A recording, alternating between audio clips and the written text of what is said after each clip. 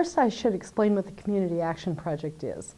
It is a nationwide program in which introductory anthropology students are given the facts of the matter in an ethical debate that is current in anthropological practice.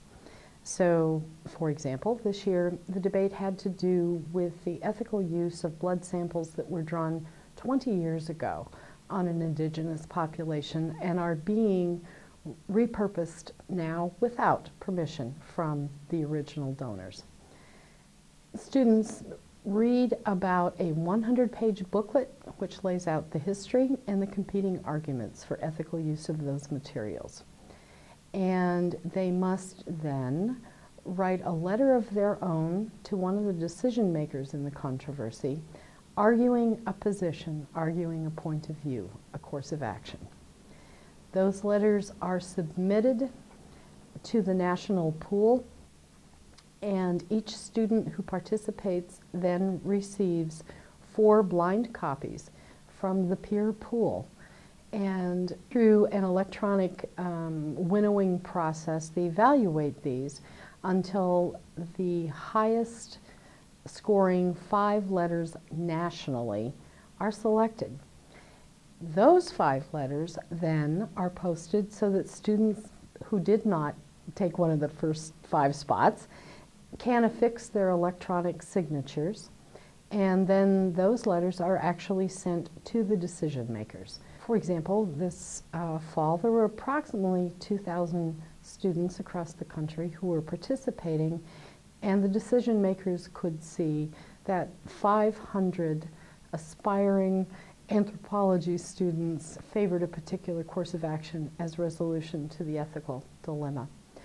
Why do I like this? I like this for so many reasons. The very first topic that we address in, teach, in my teaching of the course is ethics. And so they become aware that there is a code of ethics, what the general outlines of such a code are, and as the quarter progresses, I point out ethical dilemmas in research situations and encounters um, with the ethnographic other. What I like about this project is it makes them take a stand. They have to logic out for themselves what they think the proper course of action would be. They have to argue it logically. They are subjected to the evaluation of their peers. I don't have to grade anything in this large project. I take the evaluation of their peers as the grade for the project. And I, it reinforces for them the centrality of ethical decision making in not just anthropology, but in any of the professions, and the methods by which ethical reasoning is done. They enjoy it because it is sent to real people making real decisions in this world. So it isn't just an exercise seen only by the TA and the professor that I hand back and they file in the drawer. Students report a high level of satisfaction with this program, even though it's extra work and even though there is a, a modest, but nonetheless there is a fee to participate. And the pride at being successful in this endeavor was just very clear. We did have a national winner this fall. Last spring we had two national winners out of Western Washington University. So I've been very proud of them as well. But those two, you didn't have to be a national winner to be proud of your result.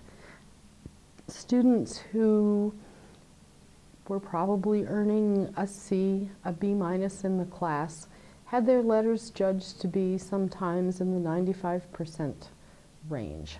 And they report to me that having had that one solid success did more for their own view of themselves as being developing scholars than any other activity.